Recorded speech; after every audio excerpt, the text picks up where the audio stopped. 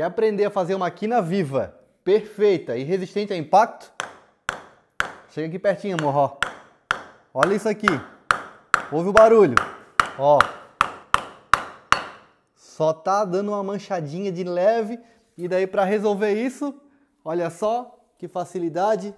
É só chegar com o pincelzinho e retocar a partezinha que manchou. E prontinho, olha só, tá perfeito a quina. Então hoje eu vou mostrar para vocês como vocês conseguem fazer essa quina viva de parede perfeita usando cantoneira perfurada.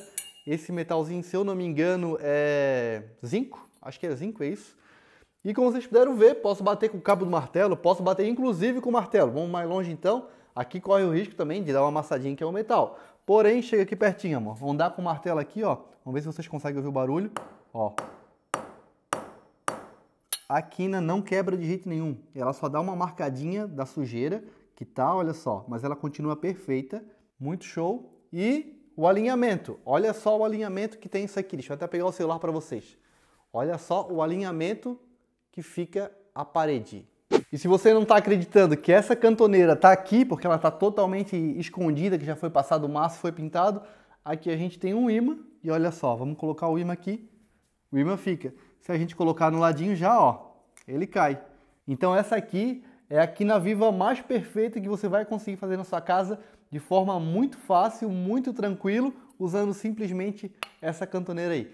E antes de você assistir o vídeo, eu já peço que se não for inscrito no canal, já se inscreva aí, porque isso ajuda muito o nosso canal. Se gostar desse vídeo, deixe uma curtida e se tiver qualquer dúvida, deixe um comentário. Agora bora pro vídeo. A primeira coisa que a gente vai estar fazendo é preparar a parede para poder receber essa aqui. Essa parede aqui eu já passei um selador nela e ela não pode estar com, com pedrinhas, com massa, com qualquer imperfeição aqui na quina é sobressalente para que quando a gente coloque a cantoneira de alumínio fique 100% encostada na parede. Então com uma lixa a gente vai limpar toda a parte da quina aqui para que ela fique totalmente sem nenhum tipo de, de pedra ou de imperfeição que impeça a cantoneira de encostar totalmente na parede. Feito isso, a gente precisa dar uma limpada para tirar todo o pó, porque o pó ele vai impedir que a massa grude.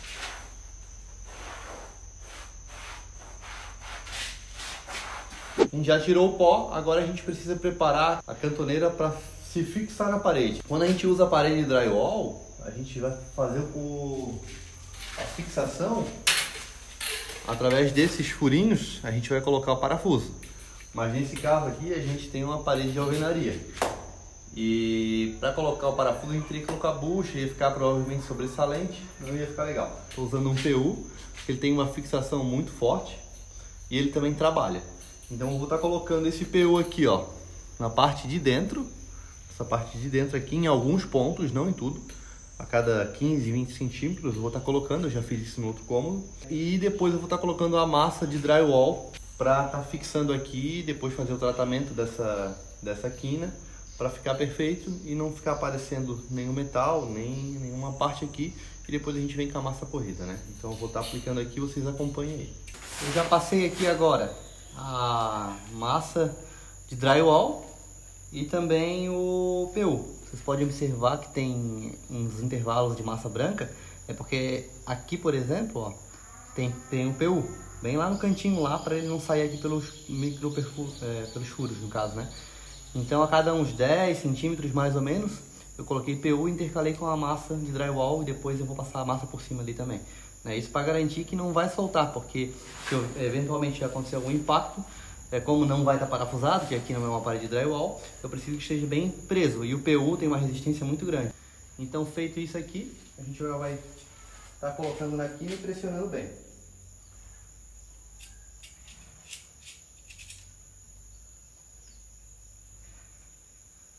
Não tem muito mistério, não tem muito segredo. Apertar bem, a massa, vocês podem observar, ela vai sair toda para fora, depois eu mostro de perto como é que ficou. Ó, como vocês podem observar aqui, ó, a massa ela saiu toda para fora. Agora a gente vai tirar esse excesso de massa, né? Vamos tampar todos esses furinhos que não tem massa, botar bastante massa para deixar totalmente preenchido com massa. Pode observar que o PU em alguns locais aqui, ó, o PU ele acabou saindo um pouquinho. Esse excesso de PU que acabou saindo em alguns locais é bom a gente tirar, ó. Tipo aqui, ó.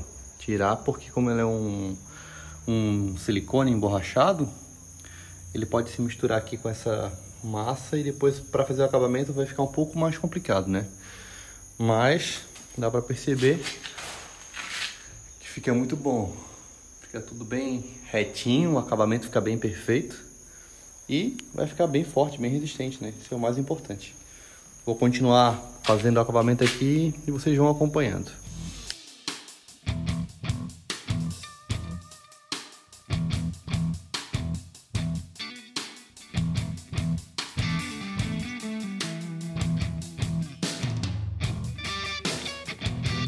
Ó, a gente tampou todos os furinhos, ó.